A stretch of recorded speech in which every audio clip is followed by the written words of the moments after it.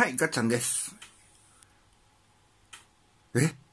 なんで真っ暗？何も映ってないじゃんって思った皆様、大丈夫です。電気が消えてるだけです。はい。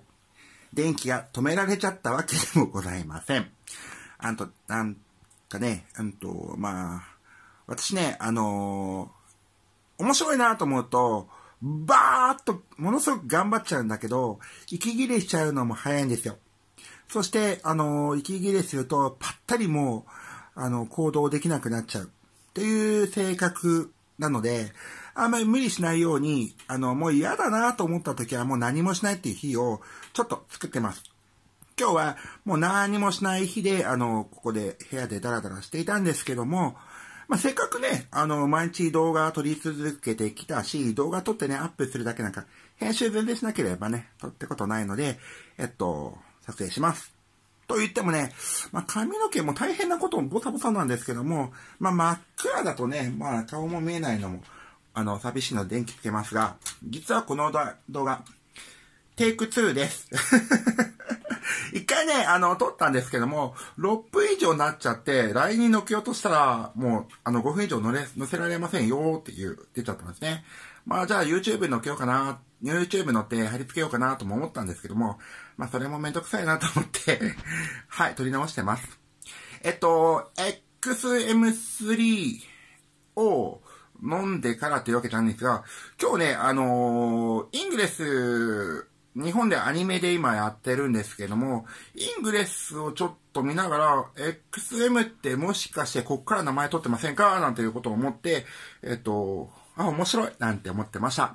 まあ、イングレスって何ですか？ってよくわからない方は、えっと、イングレスとか、えっと、で検索してください。要は、あの、位置情報を使った、えっと、Google 出身の人が作ったゲームですね。はい。世界中で大変流行って、今でも流行ってるのかな？はい。私はね、うんと、秋っぽいので、すぐ、すぐやーめたになっちゃったんですけども、うんと、面白いゲームではあります。というか、斬新。うん。位置情報を使ったっていう意味でもものすごく斬新ですごいゲームの一つです。で、えっ、ー、と、XM3、6日目なんですが、今日ね、そんな感じで、何にも、今日はあの、うんと、朝からずっとアニメ見てたりしてたので、うんと、なんていうかな、飲まないで済まして、あの、6日目は明日にしようかななんても思ってました。はい。というのは、えっと、XM3 飲んでると、あの、うんと、本当ね、お腹減らないんです。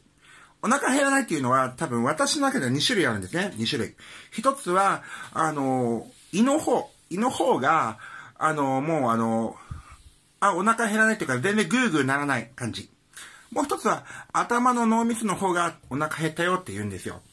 要はね、そう、あ、目、目薬がついてる。今は、まあ、許して。はい。えっ、ー、と、要は、あの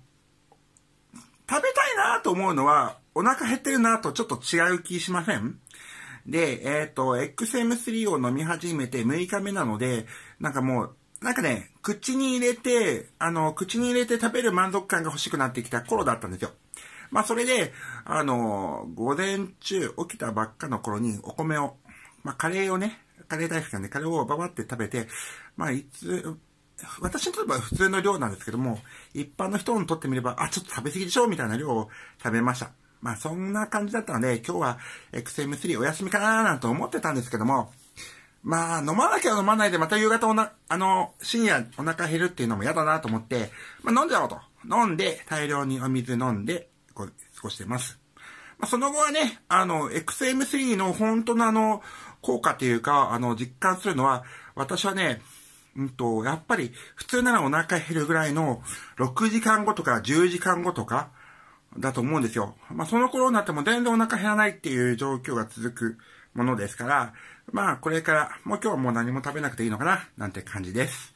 まあ、そんなわけでですね、あの、もうすぐ5分になっちゃうので、今日のレポートはこんな感じなんですが、うんと、明日が7日目、うん、相変わらず体重計乗ってませんが、えっと、明日も、